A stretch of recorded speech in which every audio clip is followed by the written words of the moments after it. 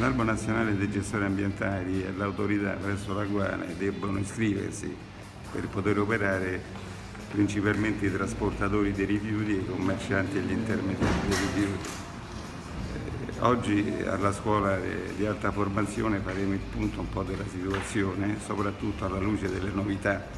che abbiamo davanti, tra le quali spicca quella del responsabile tecnico, che è una figura che deve essere munita di determinati requisiti che segue l'impresa nella sua attività di gestione dei rifiuti.